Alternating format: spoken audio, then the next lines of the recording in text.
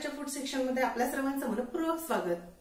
आज रेसिपीजला थोडं बाजूला ठेवून गणेश चतुर्थीच्या निमित्ताने एक अतिशय बेसिक पण खूप उपयुक्त असा व्हिडिओ बघूया गणेशोत्सव हा सर्वत्रच खूप उत्साहाने आणि आनंदाने साजरा केला जातो.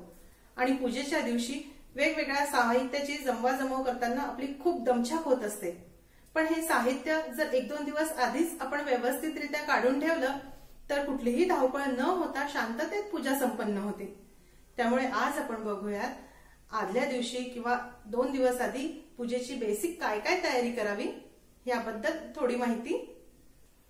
या पूर्व तयारीचे प्रमुख चार टप्पे आहे त्यातील पहिला टप्पा म्हणजे वस्तूची तयारी दुसरा पूजेच्या साहित्याची तयारी तिसरा म्हणजे नैवेद्याची तयारी आणि चौथा म्हणजे आयत्या वेळी लागणाऱ्या साहित्याची तयारी. सर्वप्रथम आपण पहिला टप्पा म्हणजेच वस्तूंच्या तयारीबद्दल बोलूया. गणपतीची स्थापना करण्यासाठी लागणारा चौरंग किंवा पाट हा काढून ठेवावा. सजावटीचं साहित्य किंवा गणपतीची जी आरास आहे ती काढून मांडून ठेवावी. पाण्याचा कलश तामण पळी पंचपात्र निरांजन अखंड दिव्यासाठी लागणारा नंदादीप घंटा झांज अशा पूजासाठी लागणाऱ्या सर्व वस्तू आपण घासून पुसून स्वच्छ करून ठेवाव्या. गणपतीचे आसन पूजा करणाऱ्या व्यक्तीसाठीचं आसन तसेच टोपी सुद्धा काढून ठेवावी. त्यातील दुसरा मुद्दा आहे पूजा साहित्याची तयारी. त्यामध्ये गणपतीची मूर्ती ही शक्यतो आदल्या दिवशी सायंकाळी किंवा चतुर्थीच्या दिवशी सकाळीच लवकर आणून घ्यावी. पूजेसाठी लागणारी विड्याची पाने बेल दुर्वा तुळशी पत्री फुलं ही आदल्या दिवशीच आणून ठेवावी. आजकाल बाजारामध्ये सर्व प्रकारची पत्री आणि फुलं विकत मिळतात आणि फुलांचे हार सुद्धा मिळतात. पत्रीमध्ये सुद्धा विविध प्रकारच्या पत्री असतात. साफा शमी बेल तुळस धोत्रा आगाडा ह्या प्रकारच्या विविध पत्री विकत मिळतात.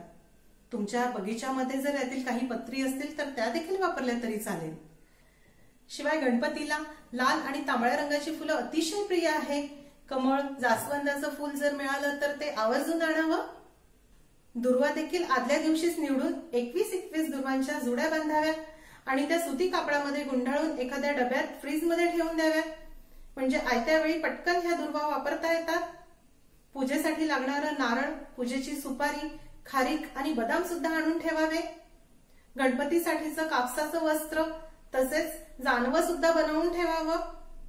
आरतीला सर्व दिवस पुरतील एवढ्या थोड्या मोठ्या आकाराच्या फुलवाती गाईच्या तुपामध्ये भिजवून एका डब्यामध्ये भरून ठेवाव्या. घरच्या घरी अतिशय सुबक प्रकारे फुलवाती कशा बनवायच्या ह्याचा व्हिडिओ आताच काही दिवसांपूर्वी मी शेअर केला आहे. तो जरूर बघा. त्याची लिंक मी तुम्हाला डिस्क्रिप्शन पार्टमध्ये देत आहे. अखंड नंदादीपासाठी लागणारी लांब तेलवात ती सुद्धा बनवून ठेवावी. कुठल्याही पूजेला तुकडा किंवा तुटलेला तांदूळ अक्षत म्हणून वापरत नाही. म्हणून दोन दिवस आधीच तुमच्या सवडीप्रमाणे अख्खे अख्खे तांदूळ निवडून एका डब्यामध्ये भरून ठेवावे. म्हणजे संपूर्ण पूजेसाठी हे तांदूळ आपल्याला वापरता येतात. त्यानंतर तिसरा टप्पा आहे तो म्हणजे नैवेद्याची पूर्वतयारी. नैवेद्यामध्ये पंचखाद्य आणि खिरापत हे दोन दिवस आधीच आपण बनवून ठेवू शकतो. पंचखाद्य आणि खिरापत हे कोरडे प्रसाद आहेत. एकदा बनवले की बारा ते पंधरा दिवस सुद्धा हे खराब होत नाही आणि आयत्या वेळी पटकन वापरता येतात. पंचखाद्य खिरापत तसेच विविध प्रकारचे मोदक यांच्या रेसिपी सुद्धा मी दिल्या आहे त्या नक्की बघा. पूजेसाठी लागणारी पाच प्रकारची फळं ती सुद्धा आणून ठेवावी. फळं आणताना ती नेहमी करता पिकलेली फळं आणावी. अपरिपक्व फळं ही पूजेसाठी वापरू नये. त्यानंतर चौथा टप्पा तो म्हणजे आयत्या वेळी करावयाची तयारी.